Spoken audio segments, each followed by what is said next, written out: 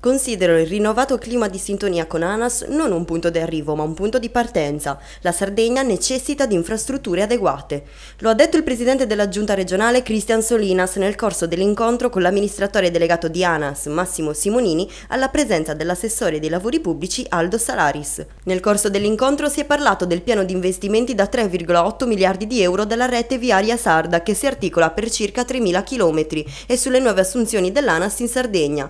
Entro la fine di giugno la società procederà alla pubblicazione dell'avviso che riguarderà 100 figure professionali, tra tecnici amministrativi e personale su strada da impiegare nei cantieri della Sardegna. Tra le criticità delle quali si è parlato, il completamento dell'asse verticale, la 131 e la diramazione centrale nuorese e di quei tratti di strada connessi con i flussi turistici. Il Presidente ha anche parlato della necessità di realizzare collegamenti trasversali.